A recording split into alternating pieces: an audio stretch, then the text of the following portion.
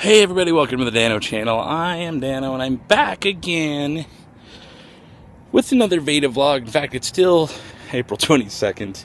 I'm not gonna lie, I was gonna cheat and be like, oh, it's another vlog day. Um, if you watched my last vlog, it was about a friend of mine dying.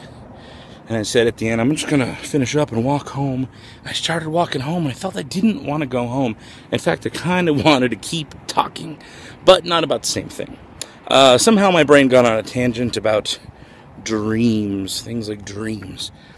Uh, and I was thinking about the weirdest dream I ever had. now, it's weird because it's like a recurring dream. It was a dream I had multiple times. Again, I'm going to apologize for the noise. It is a little bit breezy out, so you might get some of that sound. There's like a weird air thing next to me. I am right in the path of a runway. There's like an airport not far away, so there will be planes coming overhead probably very soon. I can see them way back there. There's lights. They're going to be coming soon, so I'll try to not so much walk in that path.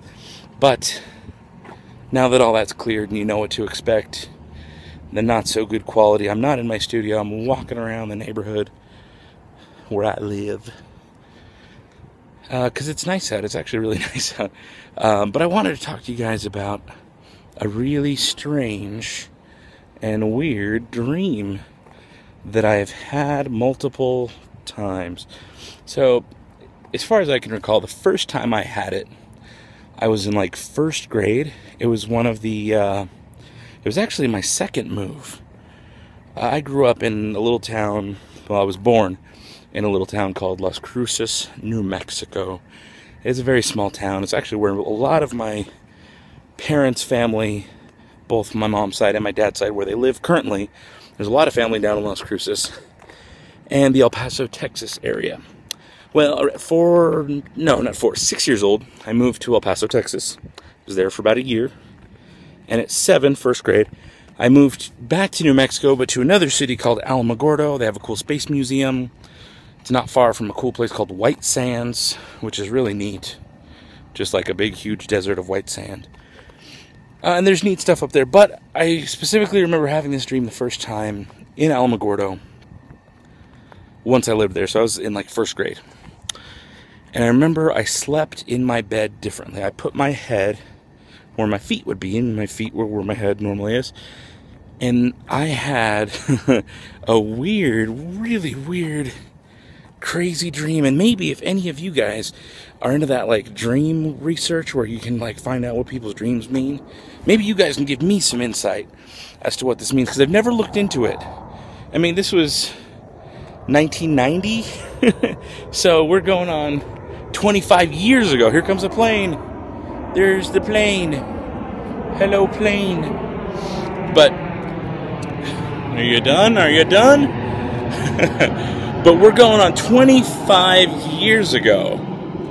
I had this dream. 25 years. And it still kind of bugs me because I don't know what it means. If it means anything at all, it might not mean anything. But then it might mean a lot. I don't know. You guys, if you guys know, please tell me because I'm really curious. But, okay, dream is this. It's a really weird dream because it's not like your normal dream. I didn't wake up at school with no underwear or something like that. I dreamt that my face was actually this is a good example right here. There's a little wall right here. So see this wall? There's a wall right here. I dreamt I was asleep and my face was really close to a wall. Like it was the wall in my bedroom, right? Like seriously, like an inch away. But when I stared at the wall and I tried to reach for it, it was like a million miles away. I couldn't get to the wall. Like it basically like I knew it was only an inch away. Like I knew the distance was an inch, but I was able to feel what it felt like to be like a molecule or something like that. That's the best way I can describe it. Is it's kind of like what it felt like to be an atom or a molecule. Was there was this infinite space between me and that wall, though I knew it was really only an inch. Let's let that plane go by. Uh, but though I knew it was only about an inch or so away, I could feel miles and miles between me and that wall as if I was the size of a molecule, like so super tiny. And it was strange because then the dream got weirder, as if that, like, you know, kind of, I guess, a cut, like in a movie, just cut to a piece of clay, like a string of clay, probably about the size of a twig, maybe. Okay, see this? I don't want to get any bugs or anything, but see this? Probably about this thick, maybe a little bit thicker, in between my fingers. A, a string of clay about that thick, maybe a little, maybe more like this thick, where the uh, branch kind of hits, a little bit thicker. So, a string of clay, like I, guess, I don't know if it was on a table or floating or what, but I went to grab this string of clay, right? That was super thin, it was about that big I went to grab it and roll it between my fingers because I knew it was clay for some reason. It was solid, but it was mushy. But so I went to go grab it and roll it, and it felt about as thick as a Coke can. Like this. But I could see it like this. I was like, I why does it feel like I'm grabbing a, something really thick and big when it's really only this big? And then vice versa happened. There was another piece of clay all of a sudden. I don't know if it was like kind of Alice in Wonderland. It just tripped out and changed or something. I don't know. It was weird. Again, I was in first grade. But then I see a piece of clay, very thick cylinder of clay. It's like brown or maybe gray in color. I can't really tell because dream colors and dreams are never just like how you remember them. I don't know. Maybe. Who knows? But it was very thick, like a Coke can. And I went to grab it and it like immediately shrunk to the size of that like spaghetti little, the smaller one. And it was like, oh, almost, I remember it being like a toothpick. It all of a sudden felt like as thin as a toothpick, solid, sharp like a toothpick. And I was like, what? That was a giant can. And when I went to grab for it, it was as big as a toothpick. And I remember feeling the toothpick and thinking, like, it looks like a can, but it feels like a toothpick. And then going back to that wall in the infinite space between me and the wall. And it just felt like miles and miles and miles. Um, and it was a weird dream because it wasn't scary. Well, it was a little scary because nothing was as it seemed. But, you know, for a first grader, for being, what, eight, nine years old, I don't know how old I was, I think I was eight, maybe. Yeah, maybe eight. Um, it was a lot to take in. But it's one of those things that, like, it's kind of followed me here and there. Um, I used to do a lot of, when I lived in New Mexico, I used to do a lot of walking around the desert, hanging out with friends, doing crazy things in high school, um, having a lot of spiritual talks, if you will, uh, going on crazy journeys in the middle of nowhere. And we would talk about stuff like this about, uh, there's another plane. Not, we wouldn't talk about planes, but we would talk about like these crazy things in our dreams and kind of what they are just weird things about how like the infinity of space. Like, I had this theory once that, and it's very similar to like a Big Bang theory, um, is that the entire universe is just a match. You know, when you light a match, you strike the match and you light it, and it explodes and flares up and goes away. The match is a pre, it's like a piece of wood, and it's got some chemical, whatever junk it is on the outside that explodes when given friction, right?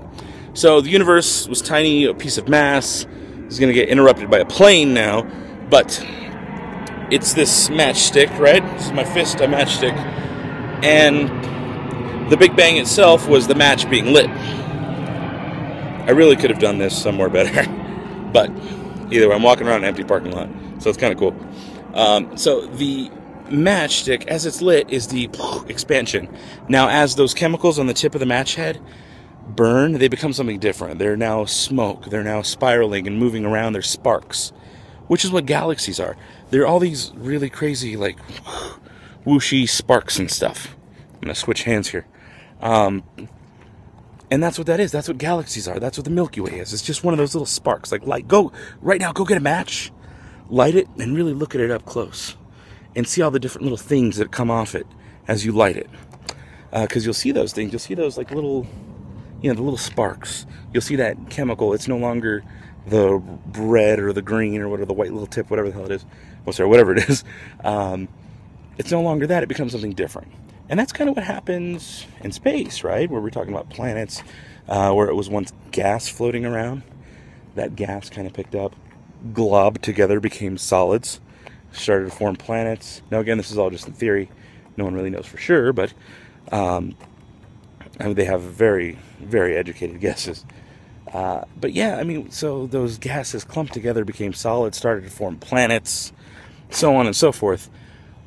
But I also have this other theory dealing with the way time moves is that the bigger you are, the slower time is, and the smaller you are, the faster time is, right? So we take like molecules, like things of like tiny little ants, I guess. Let's say for an ant, life is very quick. Everything moves so fast, really quick. But for someone who would say be a giant or even a planet, movement is always so slow. Things in space happening far, far away, really large, huge, humongous it always moves so slow. But things that are smaller move so quickly. Those little, the neutrons, protons, electrons that make up those little atoms and molecules and all that good stuff, they move so quickly that we can barely even keep track. And for all we know, the stuff that we know about isn't even like, you know, as far like as far as what we figured out with science in the last couple hundred years, we don't even know if that's just the tip of the iceberg. It may go further and we just haven't figured it out yet because as humans we haven't gotten that technology. We haven't we're not there yet. We don't know.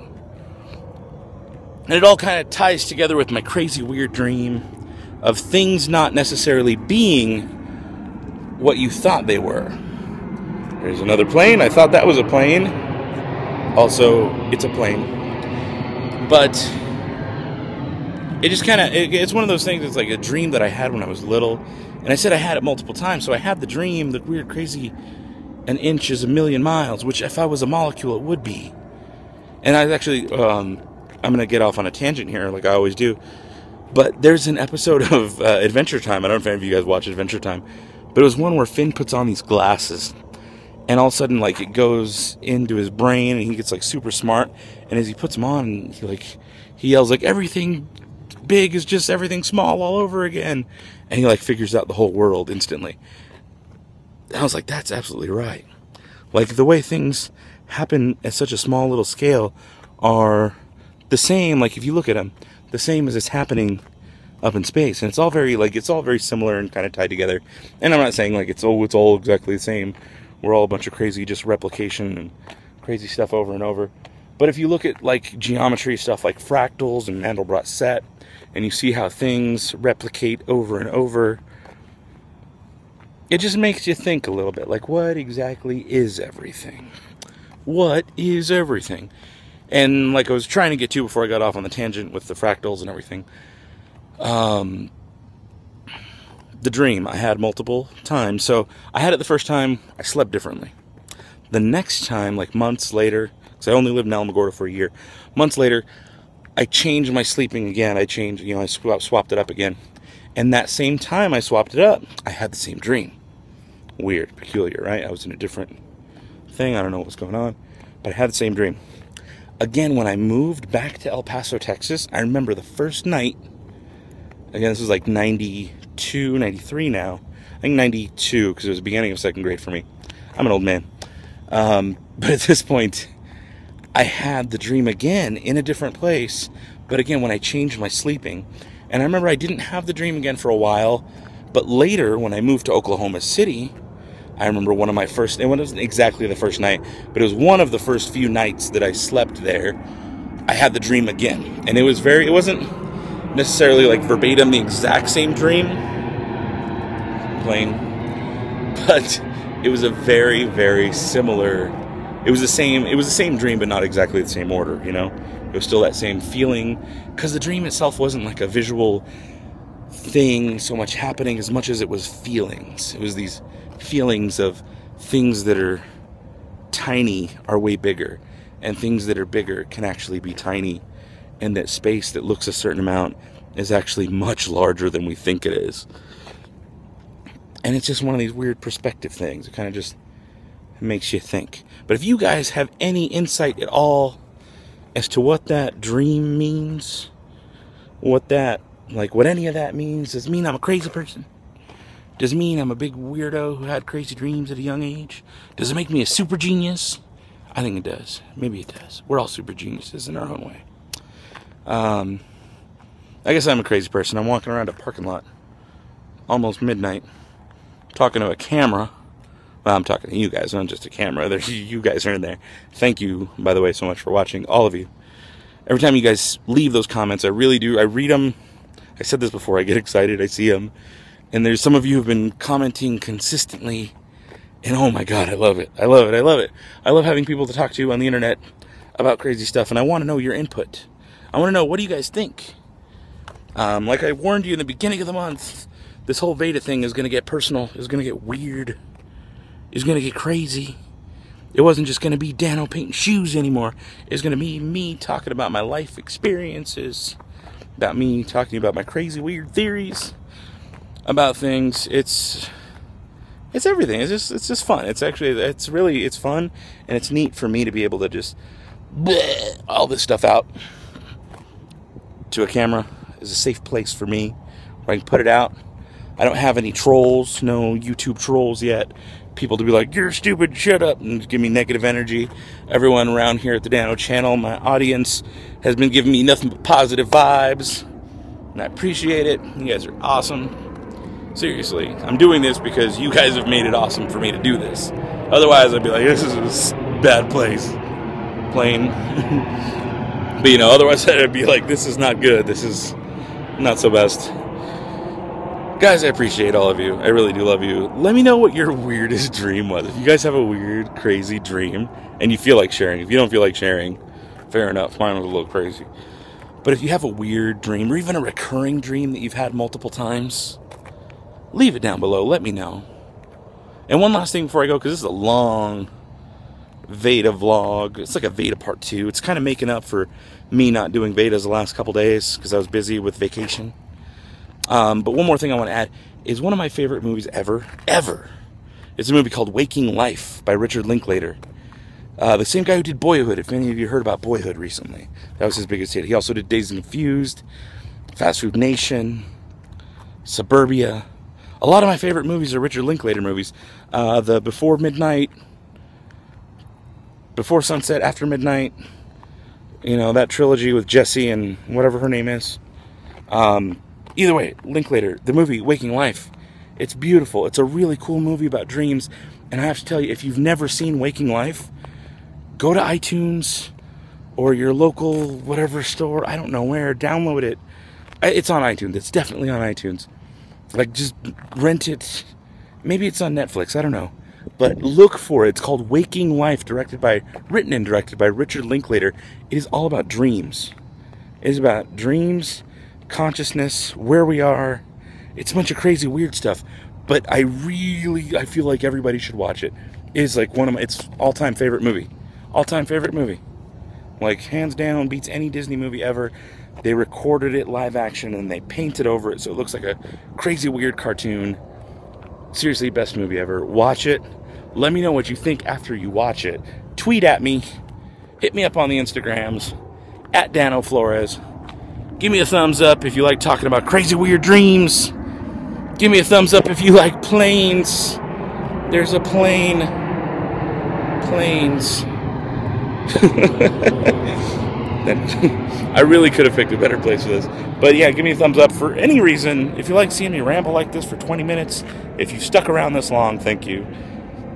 But I want to hear about your dreams. I want to know if you've seen that movie. What did you think about the movie? Because it's seriously my favorite movie. And yeah, just what's going on. Let me know how you guys are doing. Let me know what you want to see next.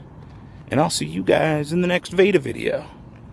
Vlogging every day in April on purpose. It should be Veda OP on purpose because unfortunately, once this is over, I'm not going to be doing this everyday stuff. I might chime in with a little me more personally here and there because some of you seem to like it, and that gets me right in the feels to know that people are paying attention and like it. That's really cool. Right in the feels. But thank you guys so much. I'll see you in the next one. Goodbye. Boop. I'm standing in Cinderella's shower. That's so cool, but it's neat